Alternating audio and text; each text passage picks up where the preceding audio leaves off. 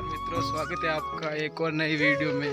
तो फ्रेंड्स, कल बारिश रुक गई थी तो आज दादी ने बोला कि भाई, तू जा और अपनी मक्के की जो फ़सल है, उसमें उर्वरक को दे के मतलब कि खाद डाल क्या तो मैंने अपनी मोटरसाइकिल स्टार्ट की और उस पर खाद का कट्टा रख कर आ चुका हूँ खेत पर और मैंने उर्वरक देने की सभी तैयारियाँ लगभग पूरी कर ली थी।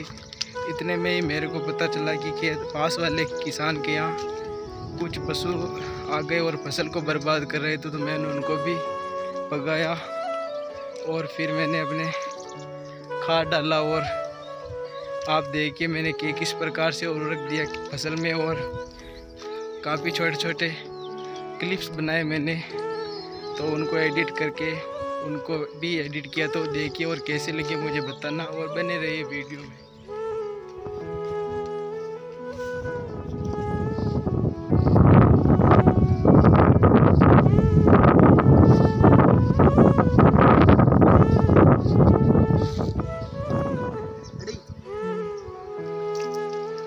पशु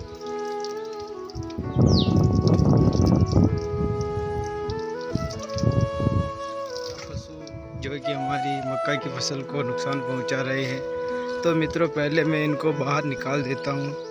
ये देखिए, है तो ये गौधन ही, लेकिन फ़सल को बहुत बर्बाद करती इतनी बड़ी बड़ी मक्का की फ़सल हो चुकी है हमारी।